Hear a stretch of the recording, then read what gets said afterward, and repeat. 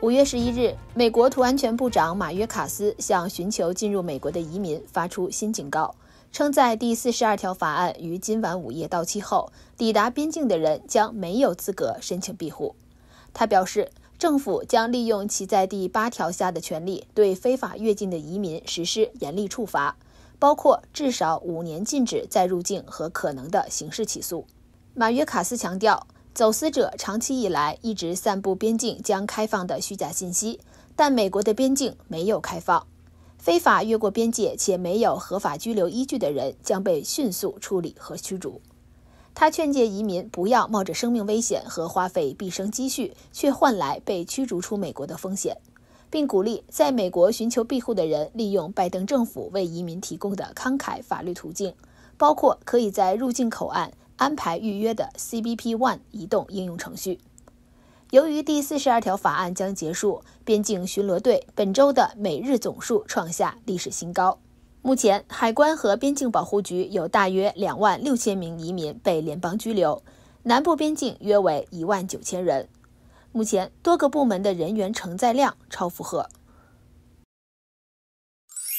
洛杉矶市议会五月十日投票决定扩大反露营法。已包括伍德兰山的两个地点。代表圣费尔南多谷西部的市议员鲍勃·布鲁门菲尔德提出了扩大现行法律的决议。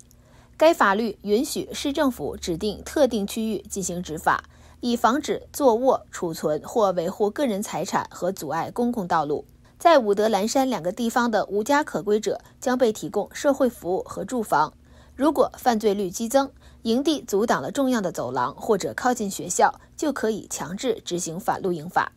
他补充说，有报告称伍德兰山的营地发生了暴力犯罪和性侵犯。下一步，该市将在营地张贴标志，在全面执行之前，给居住在那里的人至少两周的提前通知。据 NBC 五月十日报道。近日，有关骗子针对太平洋燃气电力公司 PG&E 的客户进行诈骗的报告数量达到了历史最高水平。据 PG&E 称，典型的骗局包括来电者冒充 PG&E 的代表，并威胁称，除非客户通过预付借记卡或 Zelle 等汇款服务立即付款，否则就断电。骗子们往往听起来很有说服力，他们通常针对脆弱的 PG&E 的客户。如老年人、低收入居民或忙碌的小企业主。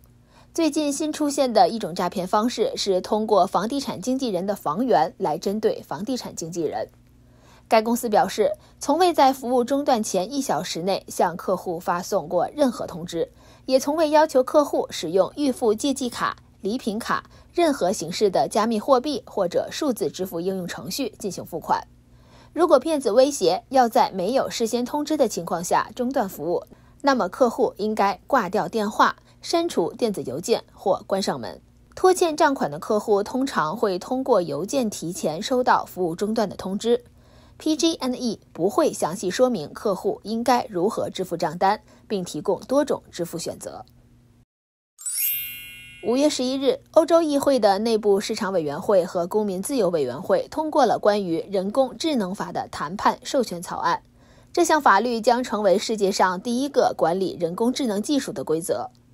欧盟二零二一年草拟的 AI 法案框架侧重于限制面部识别技术等用途，而最新的版本新增了针对通用目的人工智能和 GPT 等基础模型的制度。